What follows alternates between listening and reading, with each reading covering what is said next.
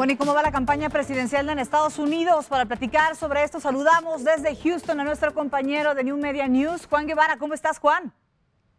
Hola, ¿cómo estamos? Muy buenas tardes. Pues quiero decirte que todas las redes sociales, toda la información que estamos viendo durante las últimas dos semanas indican que definitivamente no le van a dar una nueva oportunidad a Donald Trump. Fíjate, para darte una idea, Brenda, el 27% de las redes sociales en todo Estados Unidos tiene una aprobación por el presidente Donald Trump. Significa que tiene el punto más bajo desde el 2016.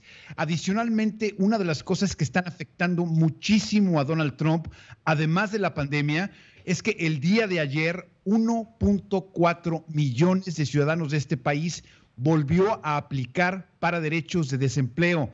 Entonces, la economía mal de malas, la pandemia mal de malas y el hecho de que además está enviando Donald Trump a agentes federales del orden a las ciudades de Estados Unidos controladas por los demócratas. Entonces, estamos viendo una combinación de racismo, estamos viendo una combinación de economía, de pandemia y de que la gente en los Estados Unidos simple y sencillamente ya no confía en el juicio del presidente Trump. Además, Mary Trump, su sobrina, publicó un libro hace unos días que no está ayudando en lo absoluto al presidente Trump cuando se le llama al hombre más peligroso del mundo.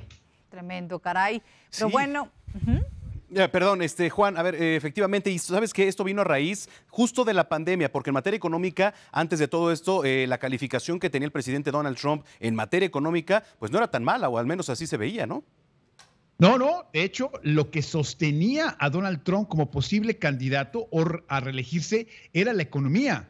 Ahorita no la tiene. Entonces, la base republicana que se fija mucho en el billete, lo que está pasando está diciendo, este, este, este presidente ya no está garantizando el hecho de que podamos seguir una estabilidad económica y están considerando su opción al voto. Estamos viendo una crisis seria en la campaña de Donald Trump y estamos viendo que los números en 27% están muy mal. Ahorita las encuestas lo reflejan en un 32, un 33%. Si las tendencias en redes siguen igual, vamos a ver a Donald Trump en los próximos 10 días en un 27% de aprobación, que es gravísimo para Donald Trump a tres meses y medio de una elección presidencial. Imagínate nada más, ¿tiene Donald Trump el apoyo de algún exmandatario en especial?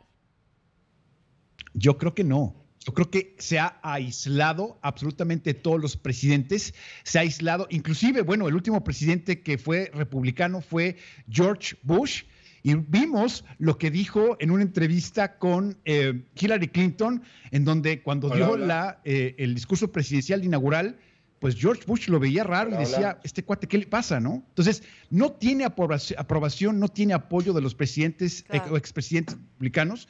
Entonces, la verdad, Brenda, la vemos complicadísima para este presidente del copete largo.